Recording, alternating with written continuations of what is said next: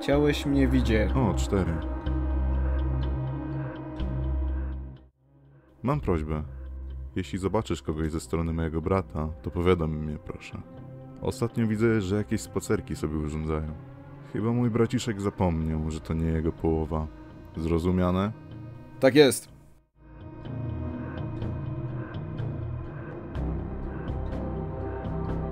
Stój! Czuję, że się stresujesz, jak ze mną rozmawiasz.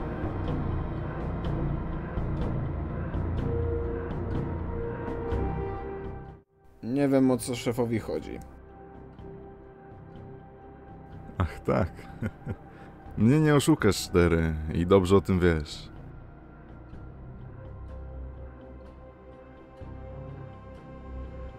Ukrywasz coś? Odpowiadaj, jak do ciebie mówię. Nic nie ukrywam. Nie tym tonem. Panujesz ty nad mocami? Czemu miałbym nie panować? W końcu jestem twoim prawym kopytem. Obserwuję cię cztery. Pamiętaj.